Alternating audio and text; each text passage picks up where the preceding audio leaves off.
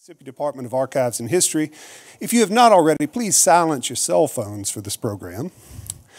Uh, I note with sadness the passing of Dr. Walter Jones, a familiar face to many of us here. He was a regular attendee of this series. He had a deep love for Mississippi history, was a great supporter of the department, and we certainly will miss him, although it was a life well lived.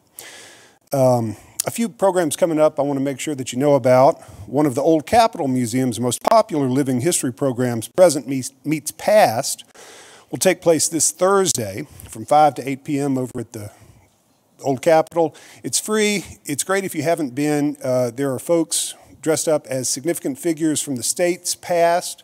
They include everyone from former governors to um, Ida B. Wells Barnett. Um, it, it, is, it is a great, fun evening at the Old Capitol Museum. And then on Saturday, October 27th, beginning at 10 a.m. at Historic Jefferson College, a property we administer just outside Natchez, we'll co host the 11th annual Black and Blue program that focuses on the African American experience in the Civil War. Uh, we'll have staff members from both the Museum of Mississippi History and the Mississippi Civil Rights Museum down there for that. Then in the afternoon, there will be uh, cavalry reenactors as well as dramatic monologues. It's a great program. If you have not gotten a chance to go to that, highly encourage it as well. Uh, next Wednesday is Halloween. And so for that History is Lunch, we'll have our old friend Peter Miazza with us to discuss his new book, Voices Heard from the Grave Lives and Stories of People Buried in Greenwood Cemetery. Following the program, Peter will lead a walking tour of the nearly 200 year old graveyard, which is just two blocks to the north of the Capitol building. There will be ghosts. Um, it's always someone from Natchez who asks. It's Today, we are delighted to welcome Taiwo Gaynor, John Gibson, and Edie Greene from Mississippi Public Broadcasting. They'll screen the original MPB documentary Fannie Lou Hamer, Stand Up. If y'all did not notice on the way in, on the way out, be sure to pick up a free DVD of this. They're on the table out there. MPB has available. Taiwo Gaynor moved from Brooklyn to Mississippi in 1998 to work with Bob Moses in the Algebra Project. Gaynor began working at Mississippi Public Broadcasting in 2008, where he is now director of post production and produces such programs as Ed Said and Amped and Wired. John Gibson joined MPB in August of 2015 to oversee the agency's television productions and production services.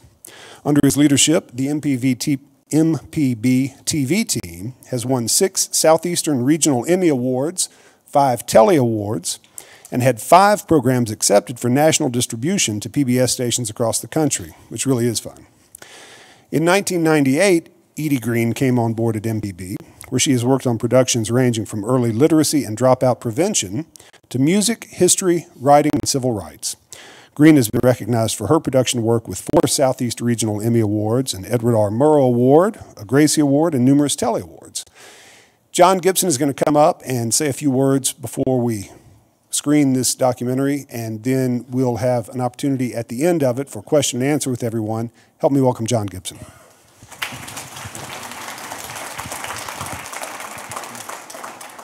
Uh, thank you for coming out, and Chris, uh, we really appreciate the Department of Archives and History inviting us to come uh, share our documentary. Uh, it seems that uh, in these times, uh, emphasizing the theme of voting rights can't be overemphasized. so we're really glad to be able to do this today. Uh, in 2017, we realized it was going to be the uh, 100th anniversary of Fannie Lou Hamer's birth and a good time to uh, make a documentary. Uh, we wanted to uh, focus on the people who knew her and make it as personal and heartfelt a piece as those people would want to would provide us. Um, and that's, I think, what you'll see. I was uh, really excited to get to work with Taiwo and Edie, who a few years ago uh, co produced the documentary 1964 The Fight for a Right, which uh, has been seen on more than 80% of the PBS affiliates around the country. Uh, so uh, they, they, they're kind of a, a, veteran team making uh, civil rights documentaries, and it was a, a, thrill for me to get to work with them. Um, in case anybody doesn't know, MPB is an agency of state government. We are the a public TV provider and PBS affiliate for the entire state. We're also what's known as a, a dual licensee. We provide public radio statewide. Uh, so we're both the PBS and the NPR affiliate, as well as getting uh, material from our own original productions and from other sources. Um, we, uh, we are owned by you, and uh, we exist to be an educational and cultural resource for Mississippi, uh, and also to tell Mississippi's story. Um, and, and that's what this documentary is all about. So uh, we'll get on with the show, and uh, we'll all be available to answer questions afterwards. Thank you.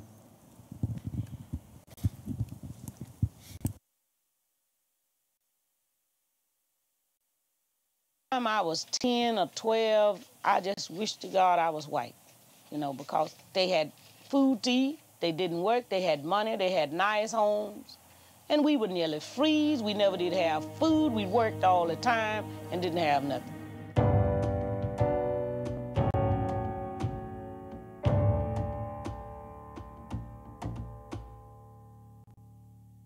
We all lived on DeMarlo's plantation, and Fannie Lou worked on the DeMarlo's plantation. She worked there like 18 years. The persons who worked on the plantations, the sharecroppers, could not leave on his or her free will. I call it neo-slavery because it was in fact slavery. Miss Hamer, she was 44 years old and had never lived any place but on a plantation. And uh, so she, was, she wanted to go. I mean, they were hostages, really. You know, they couldn't leave without approval of the plantation owner. And uh, they didn't get much money, so they didn't have a lot of money to uh, run away with. All of the, what they had accumulated was taken away from them by an overseer, a white overseer on the plantation, who poisoned their mules and destroyed their crops and uh, disabled their automobile. But Miss Hamer, she was a very determined person, and she had been trying all her life to get away from the plantation. The direction of Fannie Lou Hamer's life changed in August 1962 when the Student Nonviolent Coordinating Committee, or SNCC, held a public meeting in nearby Ruleville. I can remember in 1962 this lady named Mary Tucker. She and my mom was best of friends. And she told my mom that they was having a mass meeting at William Chapel Church. And she asked my mom, did she want to come? And they talked about, you know, how it was our right that we could register and vote. And they was talking about we could vote out people that we didn't want in office. I had never heard until 1962 that uh, black people could register and vote. And you can understand why. You got 70% of the population of the whole county uh, black, uh, and then you got nothing but white people in office. So then uh, they asked who would go down on Friday, which was the uh, 31st, to try and register. So I went down. I was one of the person that said I would go. And people were really nervous about this trip to try and register to vote, a hostile act directed at white supremacy. I was on the bus, and, and, and everybody on there was afraid, even myself. White men in trucks were driving by, waving guns and yelling, uh, you know, sentences at us. And so these people on the bus were kind of upset, and Fannie Lou Hamer started to sing. This little light of mine, I'm gonna let it shine. She began to sing, This Little Light, and people calmed down and were ready to face whatever they had to face. This little light of mine. And just with the power of her voice, it was clear that she was easing the fear. Let it shine. Well, it didn't take long for the registrar and other people to shut down the circuit clerk's office where you went to register to vote. And so now people had to go back home. When they was on their way back home, they got stopped by the highway patrol. And the reason they got stopped, the highway patrol told them that the bus was too yellow. You riding a school bus, what other color's gonna be? Before she made it home, quite naturally, the registrar called D. Marlow and letting him know that Fannie Lou was down there trying to register to vote. And uh, the landowner dro- drove up. He said, You will have to go down and withdraw your registration or you will have to leave this place. And I didn't call myself saying nothing smart, but I, I couldn't understand it. And I answered in the only way I could and told him that I didn't go down there to register for him. I went down there to register for myself. And she, he said that, uh, well, you, you'll have to go. And so he pulled away, and she went back into the house. She would leave her husband and her two daughters on the plantation and that she would leave so that they could bring in the crop so that they wouldn't owe the plantation owner any, money. Daddy took Mama to Miss Mary Tucker's house. On the 10th of September of 1962, my daddy felt some kind of way that Mama wasn't safe there. So we all got together, packed up some clothes, and he got my mom and took her to Sumner, Mississippi. Mr. Hamer's premonition was accurate. That very night, the Tucker house was attacked. The 10th of September is when they shot in that house 16 times, you know, to kill me.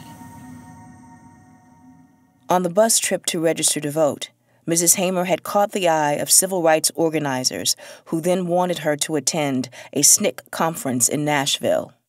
Bob Moses called me and told me to go and find a lady who did the singing on the bus.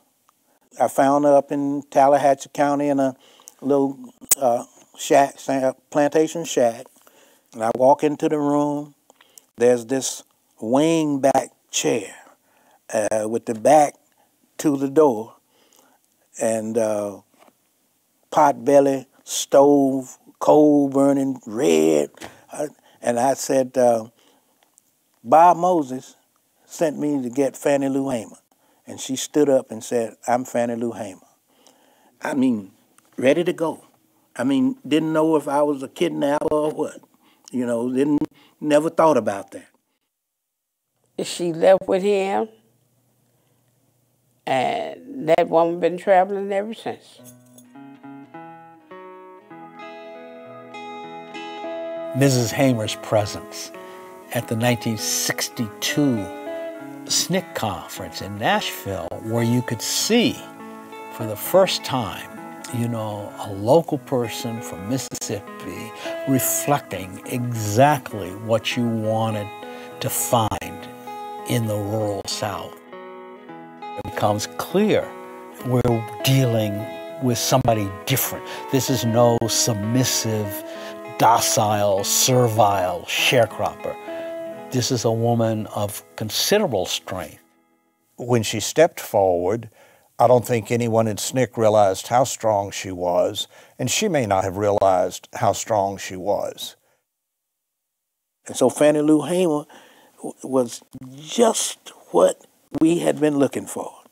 She didn't wait around. I mean, she just got right to work continuously. We canvassing communities and encouraging people to uh, go to the courthouse. She said, because voting is your voice you know, to decide on who you want to represent you or who you want to be your president. On June 9, 1963, Fannie Lou Hamer was returning by bus from a voter registration conference in South Carolina. They stopped at Winona, Mississippi. And some of them wanted to use the bathroom, some of them wanted to get food. But at the time, she was still on the bus. And when she did decide, she seen them running out of the place. And she stepped off to see what was going on.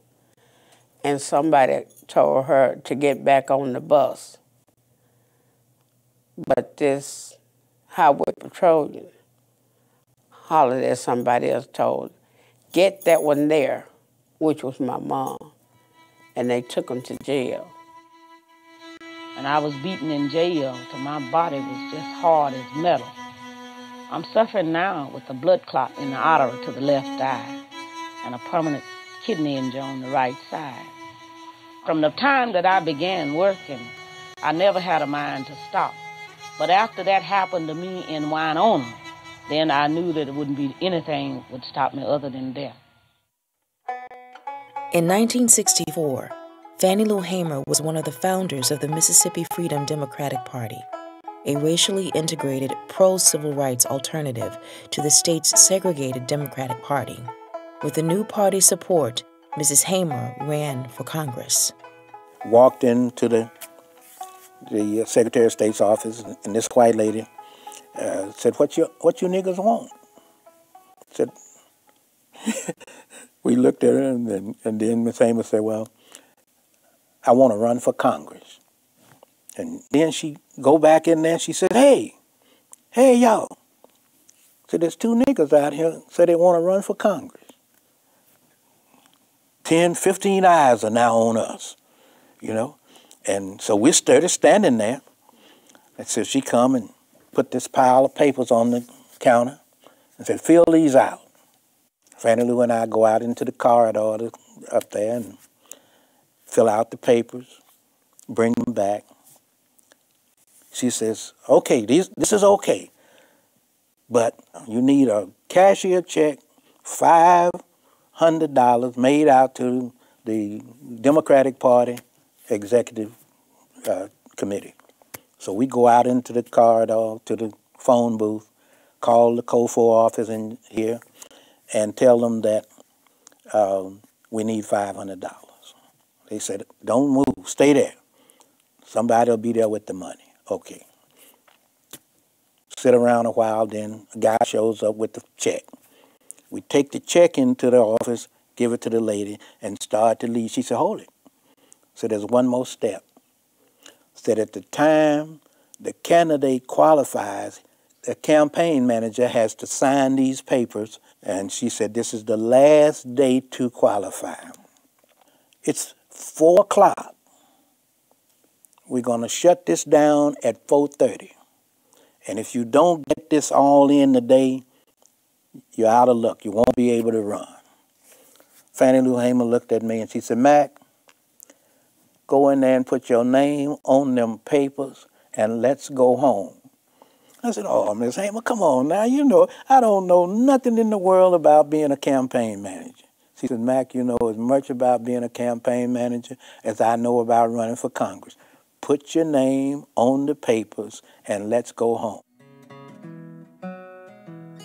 In August 1964, Mrs. Hamer was a member of the Mississippi Freedom Democratic Party's delegation to the Democratic National Convention in Atlantic City. There, as the nation watched, the Freedom Democrats demanded to be recognized as the only legitimate Democratic Party from Mississippi. Everybody knew that the state of Mississippi discriminated against black people, denied black people the right to vote. Everybody in the Democratic Party knew that the Democratic Party of Mississippi was an all white and white supremacist party. They weren't even loyal to the Democratic Party. They came to the Democratic Party's conventions supporting Barry Goldwater, the Republican.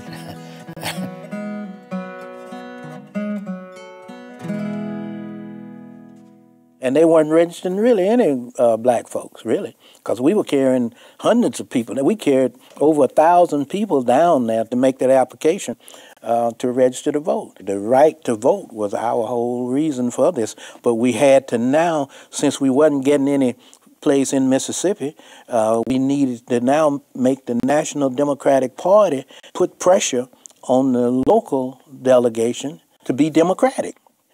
Our challenge before the Credentials Committee was to try to deny the credentials to the regular uh, Democratic Party. Mrs. Hamer spoke before the Credentials Committee in 1964 in Atlantic City to let um, the Credentials Committee know that the, the integrated delegation should be seated as opposed to the old white guard But Mrs. Hamer was chosen to speak because of the fire that was in her spirit, uh, because of her, her articulation, and really because, because of her eyes. It wasn't too long before three white men came to my cell. One of these men was a state highway patrolman. And he said, We're going to make you wish you was dead. When you looked into Mrs. Hamer's eyes, you knew she meant business. You knew that she had been through a lot, and just her very presence commanded respect. I was carried out of that cell into another cell where they had two Negro prisoners. The state highway patrolman ordered the first Negro to take the blackjack. The first Negro began to beat. And I was beat by the first Negro until he was exhausted. I was told that there were people uh, at that, on the credentials committee in tears when they listened to Mrs. Hamer tell her story. After the first Negro had beat until he was exhausted, the state highway patrolman ordered the second Negro to take the blackjack. The second Negro began to beat, and I began to work my feet. And the state highway patrolman ordered the first Negro had beat to sit on my feet to keep me from working my feet. I began to scream, and one white man got up and began to beat me in my head and tell me to hush. All of this is on account of we want to register to become first class citizens. And if the Freedom Democratic Party is not seated now, I question America.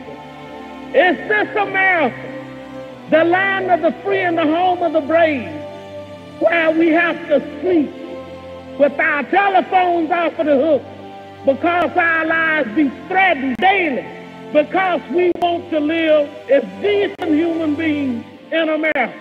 Thank you.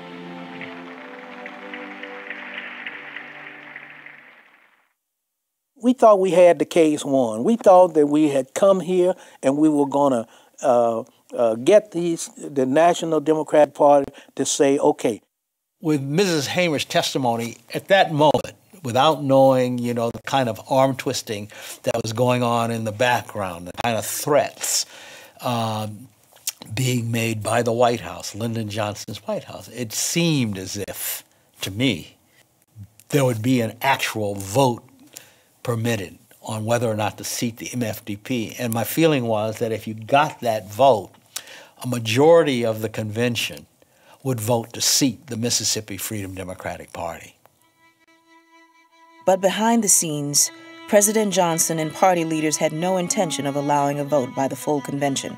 Instead, they offered a compromise, allowing two members of the Mississippi Freedom Democrats to be recognized as delegates at large.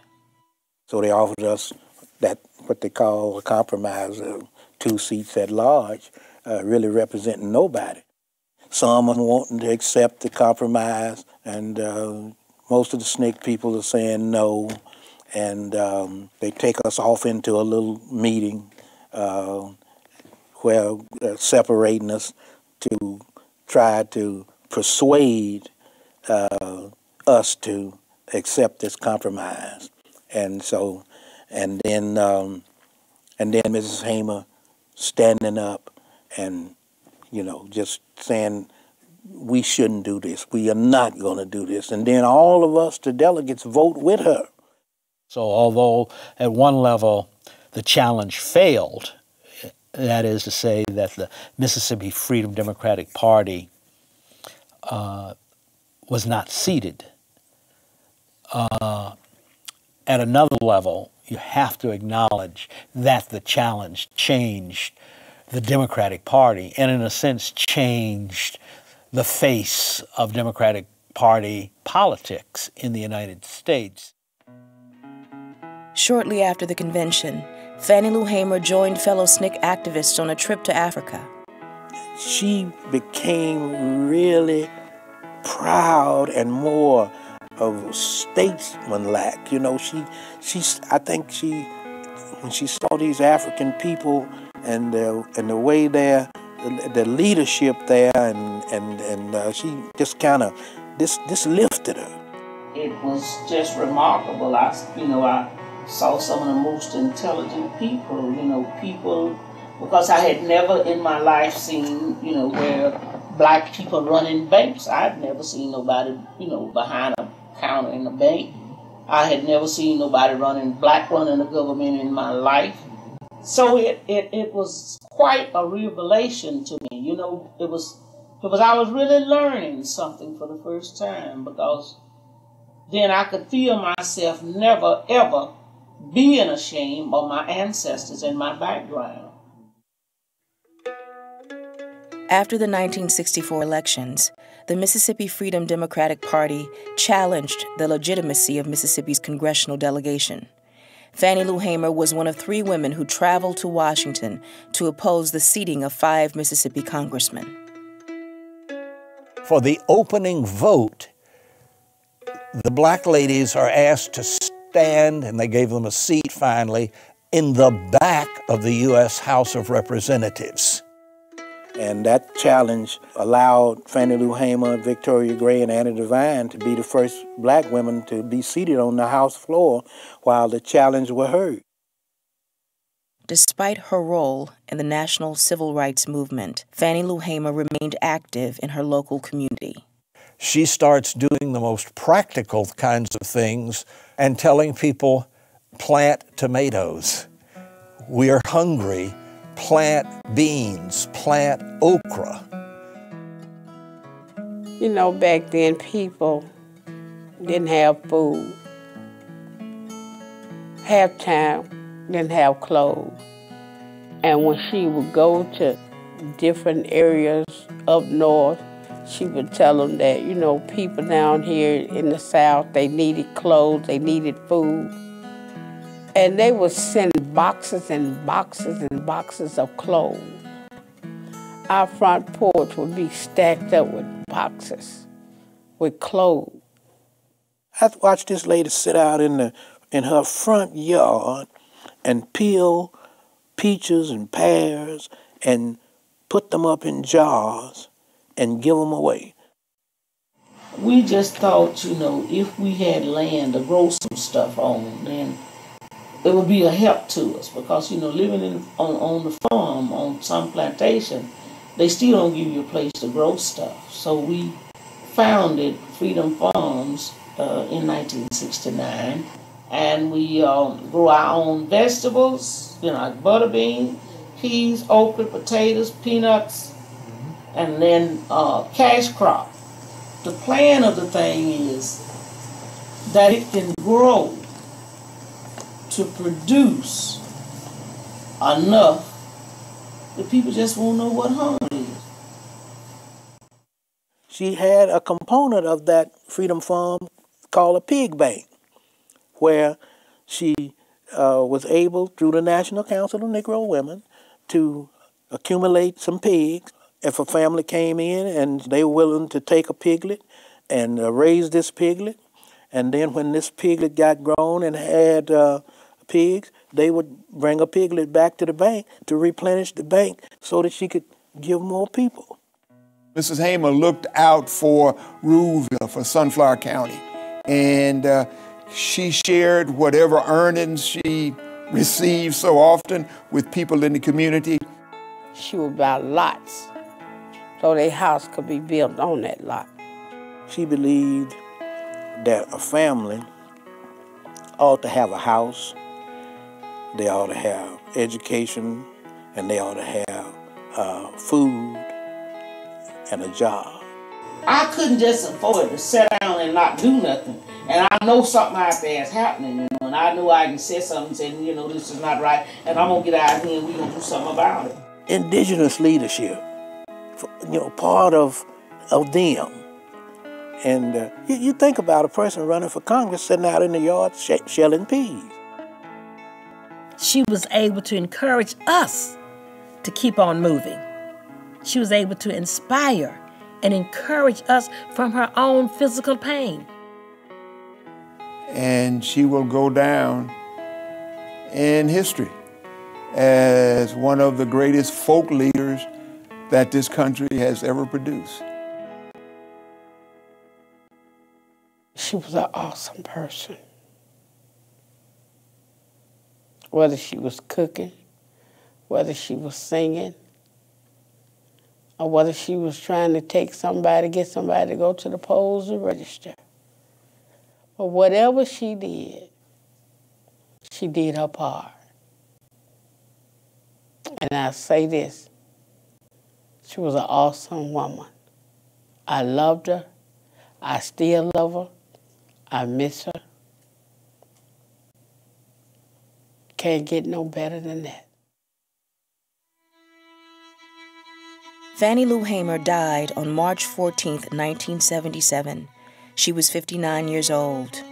Her good friend Charles McLaurin arranged for her burial on land she owned.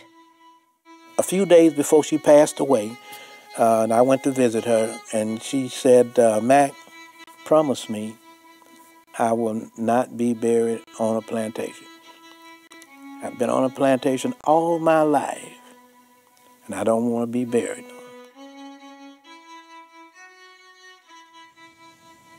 We, we have a commitment to keep her legacy alive.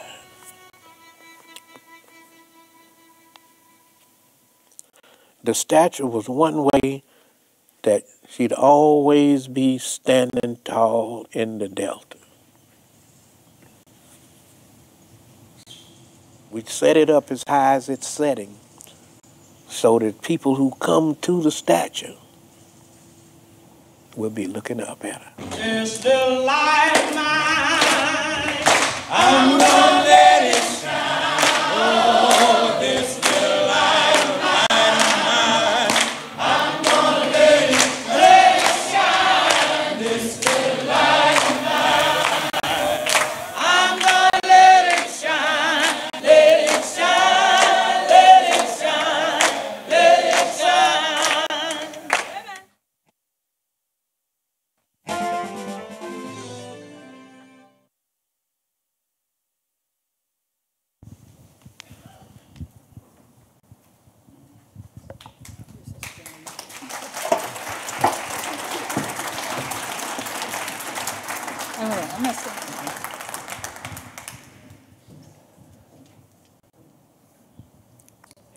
What happens now? Why don't you tell us a little bit about y'all's parts in making that? Any thoughts that you may have, and then we'll open the floor to questions. All right. Well, first of all, thank you all for coming and sharing with this uh, screening with us. Um, we're very proud of this project. Um, we all worked collaboratively on this on this uh, in a very short amount of time.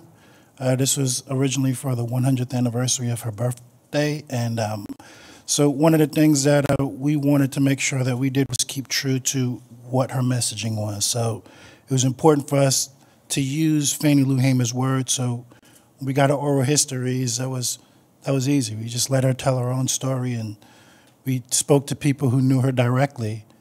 And um, you know, we kind of wanted to emphasize the stories that were told about her through um, reenactments. So we uh, had one of our fellow staff members, Belinda, play our Fannie Lou Hamer, and we shot the reenactments around town.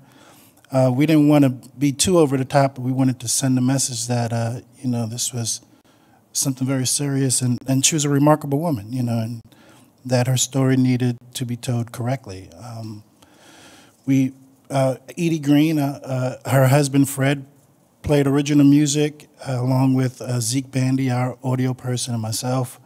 Uh, we wanted to make sure that we stayed true to Miss Hamer's um, legacy of This Little Light of Mine. So all of the music that you heard uh, uh, underneath was re- recreations of This Little Light of Mine in different variations. And of course, we used her singing at the end.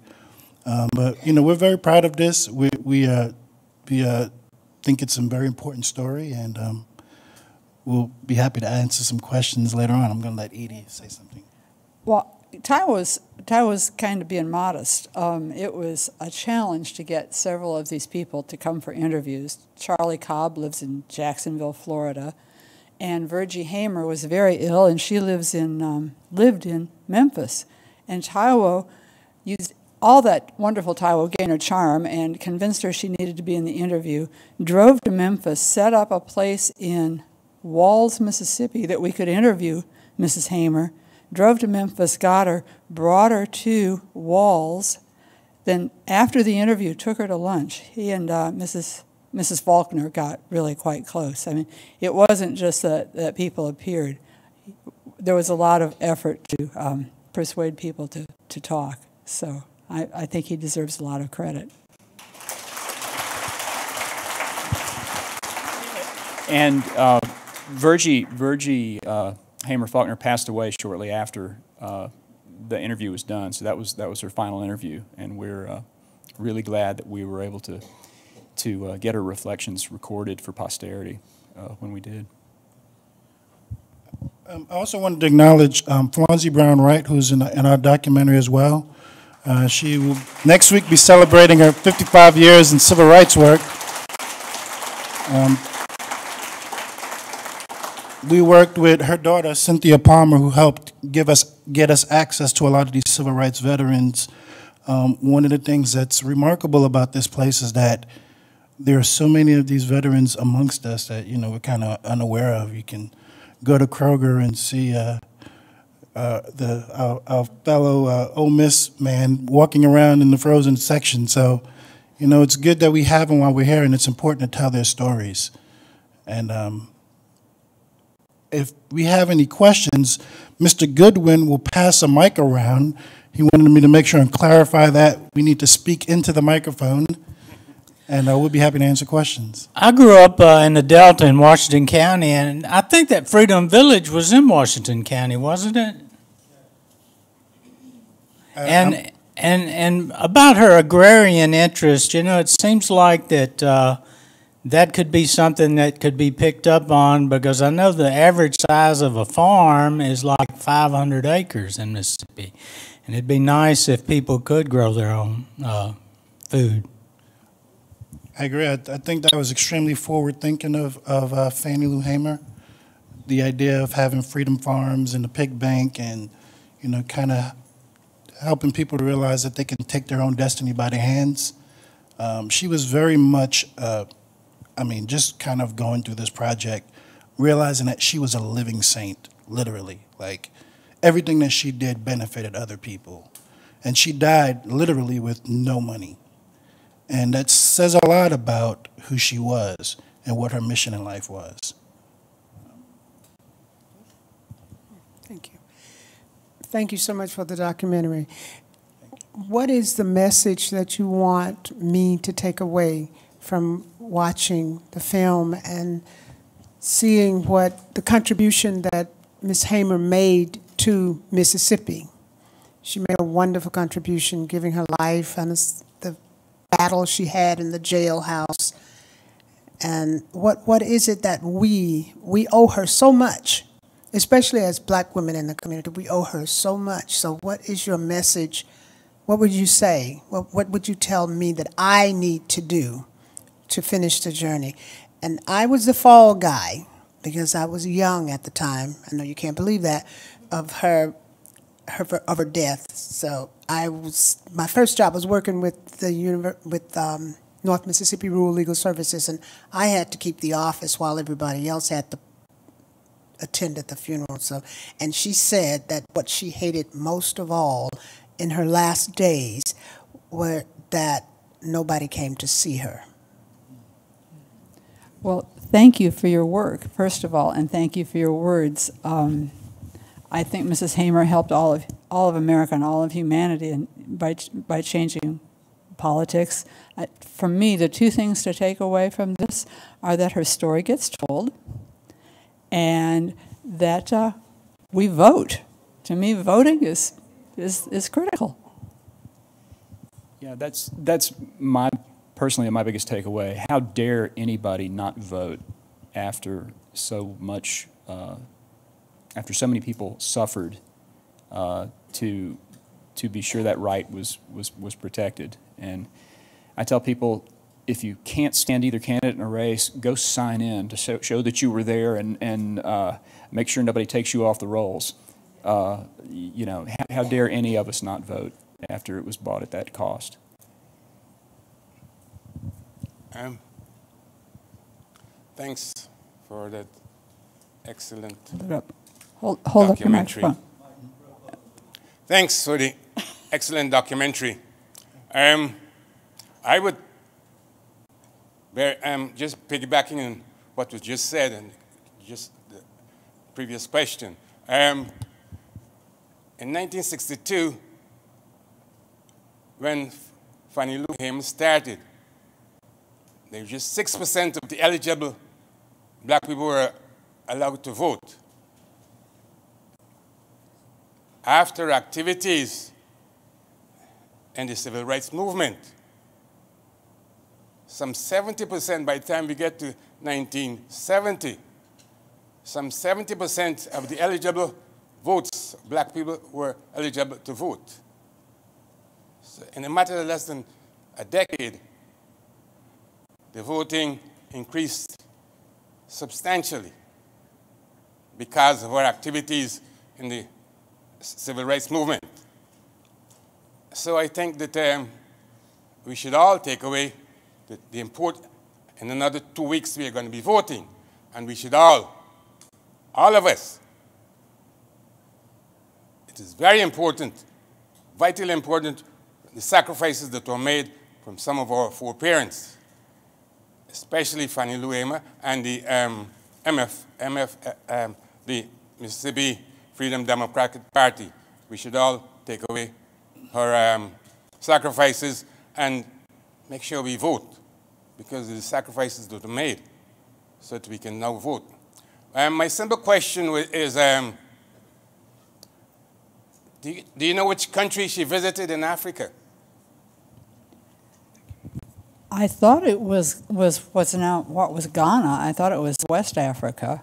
Do you know? I, think you're right. I think I'm right. Okay. I, I think that uh, Mrs. Hamer's testimony before the Credentials Committee was so powerful.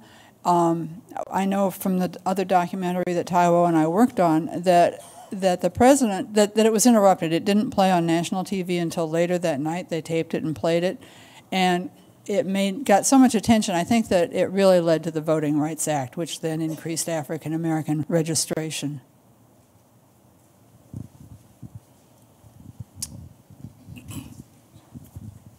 Hi. Uh, I would just like to know if you all are airing this between now and, again, between now and next, uh, Tuesday for voting. It's, it's not scheduled to air right now, but it is uh, available online. And uh, we've already, uh, we've already seen a couple of national sources referencing it and including the link uh, on different news sites. Uh, So we, we do encourage people to share it. Oh, and, and uh, while this may or may not uh, help it get played before, uh, before Election Day, uh, I think I mentioned uh, about 220, 230 of the 290 PBS stations around the country have picked this up. So uh, we'll get 70 or 80 percent carriage.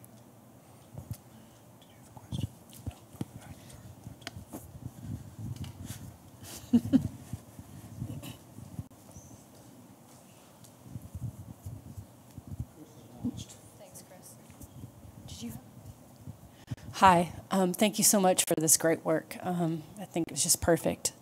Uh, I wanted to ask um, we, we talk a lot about voter apathy or people registering and then not showing up.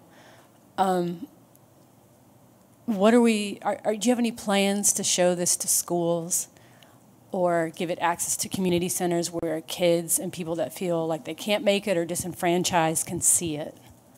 So they can be reminded of the sacrifice and what all that had to happen for this to be shown today.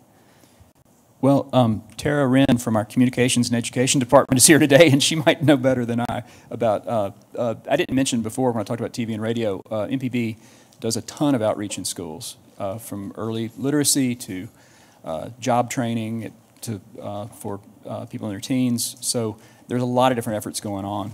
And Tara. I'll give you the short answer to that, and that is yes. Was just whispered in my ear. We do a lot of boots on the ground education work, and we one of our goals um, this year and a year to come, we're going to really beef it up, is to do take these documentaries that Mississippi Public Broadcasting does, and to turn them into educational pieces for classrooms across the state of Mississippi. And this is a perfect time to start. So yes, yes, yes. Thanks, Tara. The documentary mentioned that she died at the age 59, correct? Uh, do you all know whether or not her death was uh, contributed to her beating in the jail by the state trooper and the two black men? And if so, has Mississippi offered an apology to the family on behalf of the Highway, Highway Patrol Office? And have any reparations been made to that family if that death was caused by her beating by the Mississippi Highway Patrol Office? She had breast cancer. Okay. Thank you. Uh, I have a different uh, question. I taught kindergarten one year. Uh, I'm a nurse, and I just was a mission, and I taught kindergarten. Excuse me. And I, I want to know, is Dr. McLemore here in the, in the room? No, okay. And could you tell me afterwards where I can find him? Because I taught a boy named Bruce McLemore. I want to know if it's him. Okay.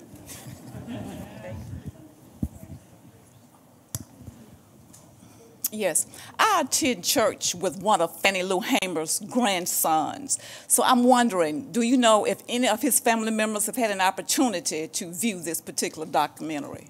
Well, we did screen this documentary. Well, we, we broadcast the documentary for the first time last year to coincide with her 100th birthday. And we, uh, we gave um, a DVD, and it was taken to Ruleville at the Fannie Lou Hamer Museum there where they screened it. And Vergie Hamer did make it to that screening, and she was able to see. And I believe she died maybe 13 days after that screening. Um, her children, I'm not sure if they have seen it. Um, it is broadcasting nationally. It is um, all over the, yeah, it's all over. And they can take one of the DVDs, of course. Yeah, that'd be great. Um, the, you know, there are, Vergie has two other daughters, I believe, that um, are still living. And, uh, I mean, Fannie Lou has two other daughters who are still living. Um, so, you know, we, we would hope that they, they are still, um, you know, able to share in her life and see the story about her. Just a quick postscript. Good evening, good afternoon, everybody. Uh, I have had an opportunity to uh, work with the Canton school system for about 12 years, and just this past uh, February, March, I, I showed that film to uh, six classes of students in the Canton High School. Then the second point is a, is a, is a teaching, teachable moment. I want you all to know why Mrs. Hamer was chosen to be the spokesperson. I knew Mrs. Hamer. I worked with Mrs. Hamer. Mrs. Hamer was chosen to appear before the Credentials Committee because, as I mentioned, of the fire in her eyes. Her two cohorts, Mrs. Annie Devine from Canton, my hometown, was a school teacher. Mrs. Victoria Gray from the Hattiesburg area was also a teacher. But Mrs. Hamer had that fire that you could see in her eyes. Mrs. Mrs. Devine was soft spoken. Uh, Mrs. Gray was very intellectual, but Mrs. Hamer brought it. Mrs. Hamer brought it. So when Mrs. Hamer opened her mouth, you had to listen. And when she appeared before that Credentials Committee in 1964, as someone said, there were tears, and I saw tears in this room today. And I could almost shed a tear. Just the fact of the sacrifices that Mrs. Hamer and so many other people have gone through, being forced to be beaten by her own people. Uh, and, and when you tell that, it just sounds, oh, well, that couldn't have happened. It happened. It happened. And so I just wanted my last point. Please, everybody, go out and vote. And as I teach and lecture people, when they say, well, why should I vote? My one vote doesn't count. It may not. But you had ancestors who couldn't vote. You had grandparents, great grandparents, and relatives who couldn't read nor write nor vote, So if you don't want to do it for you, you tell your folk when they ask you, why should I vote? Well, listen, baby's kids, if you don't want to go and vote for yourself, you vote for the folk who didn't have the opportunity to vote. And that's why you must vote, because you are representing those ancestors who did not have the, the even the opportunity to even go to school and learn.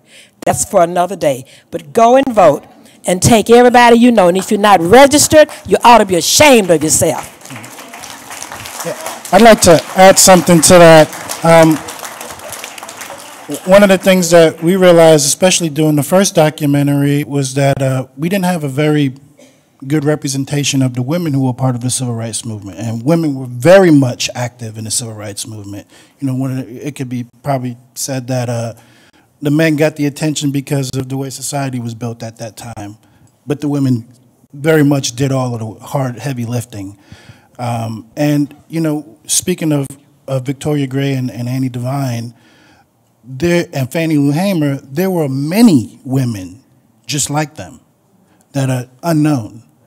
And, you know, it, it makes me proud, especially where we are in this election cycle, seeing all of these women coming through that are about to really start pulling the levers of power. And I feel proud that we're able to show this powerful woman of Mississippi kind of telling that, taking that story and making it go forward. So.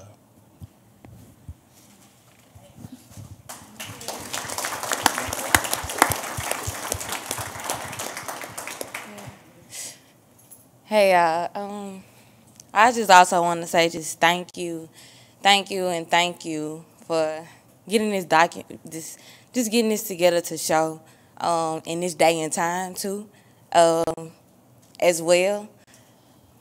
I'm I'm so moved because just like um, I'm an organizer here in Mississippi and here in Jackson, um, doing a lot of the work that Fannie is doing and so many other people around here doing the same work. And people think that it's irrelevant today. And it's still relevant today that we do this type of work. And I'm thinking about how this this week and today is just Wednesday has been so trying and, and so testing for the state of Mississippi, period. Um, Monday I went to a town hall meeting um, regarding Willie Jones Jr., man from Forest, Mississippi, who was hung. It was a lynching, not a suicide. Um, so coming from that, and then yesterday was the MHSAA um, hearing about the Forest Hill high school students here in Jackson, Mississippi, about their um, their band performance, and and and being present in those hearings and seeing how we as community activists, as community people, not even activists, just regular old people, who fam who Fannie just embodied so much, just being a person, who deserve rights, who deserve to hear, who deserve to be able to um, voice their opinion about how they're living, and not for you to tell them how they're living. Um, and seeing people speak up and step up in the community about harassment about death threats that they're getting today in 2018 because they spoke out about some students who should not be punished, should not have to apologize about an act that other people did not understand and didn't ask to understand, but wanted to punish them. So I'm thinking about that leg work and, and just thinking about like there are still people today being um, their lives and then, so I'm going through a period where I don't have money that much. And I just went to a farm yesterday. I talked to my grandma on the phone the day uh, before about how I wanted to make some chili, but I didn't have all the ingredients. I went to a farm yesterday, and he said, just take, take what you need. I said, I can make my chili now. so that's also going on. And I thank Fannie, again, Ashe, I thank her um, for starting the Freedom Farms because a lot of people here in Jackson, Mississippi are embodying it. I'm from the Mississippi Delta. I'm not from Jackson. I've been here since 2014 since I've been in school. And it's it's amazing. I just I thank you for all that. And and then real quick, I'm just gonna speak on voting too as well. Um, the way she embodied and the way that she talked about voting was very plain and simple. because I want to, because I need to, and because I have to. That's all I hear from Fannie when I hear about voting. And that you don't have to be uh, privy to um, having a degree, having owned a house to vote, and, and, and voting not being as, sim- as simple as just voting people into office. But voting against things, voting people out, is what I heard Fannie say. Um, so also, my generation has been disenfranchised. This man right here spoke about um, 70% of people being eligible to vote after what happened with civil rights. Do you know that number today It's lower? So that tells me that people are still being disenfranchised. As low as it's in the 40 something percent percentile, folks just want to know numbers. Um, so their eligibility is, is lessened now. Why? Because people are being disenfranchised. And my uh, youth folks are feeling that their votes just don't matter. And we have to, it's our job to also educate people on what voting actually is. It doesn't stop at just electing people. And it also ends about keeping people out and also being able to know that your voice will be heard and people will work hard for it like Fannie did. So that's all I want to say. I'm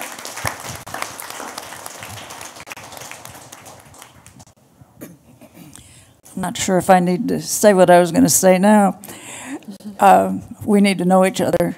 I've been active here for 55 years, uh, keeping the sidewalk warm for people coming later.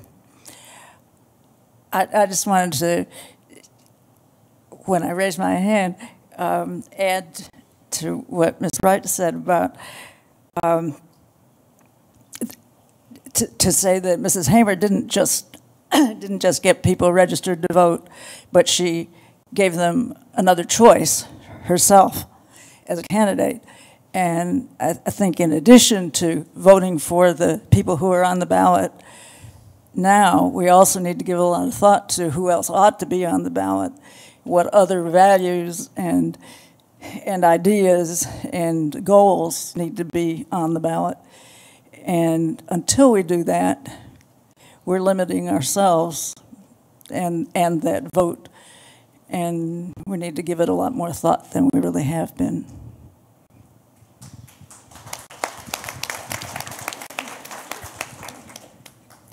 I was interested in this comment that you're saying people are being disenfranchised. Does that mean they are being kept from being able to be registered to vote? And how is that happening? Explain how that's happening. So one way we talk about, I just use a simple um, expression that everybody else has probably been um, familiarized with, voter ID registration. So I talk about that and people think that that's not a real thing or that how in the heck could that keep people from voting? Well, you have poor people still, right? Who don't even have transportation to go get an ID, will never, and don't have the time because they still work from day in to day out. ID is very disenfranchising for some poor people. That's just one simple reason why. And if I told you here just then how a person yesterday at a city hall meeting said that they were threatened and, and followed by people because they spoke out against a vote to keep a director, a band director in school was followed and threatened. Do you think other people in other towns are not being threatened? I think it's definitely happening. And it's happening in more ways that we that we don't know. I could talk about gerrymandering. Do people know something about that? Redistrict, redistrict, redistricting redistrict. I'm sorry, my words. Yeah, yeah. That that's a that's another way that people are definitely being disenfranchised. Their voting precincts are being changed, being taken away from them. Something that's as simple as that. Well, I mean, I, I, I love this series in part because we usually run out of time before we run out of questions. and I think that's a great thing. That has happened again. But I know that all of y'all will be able to talk to one another directly right now and ask these same questions face to face as well as any questions that you may have for our panel. Look, we didn't have any books from our folks today, um, but we do have the DVDs to give away outside. We have a fabulous museum store. If you would like to learn more about the life of Mrs. Hamer, there are some books over here that you can take a look at.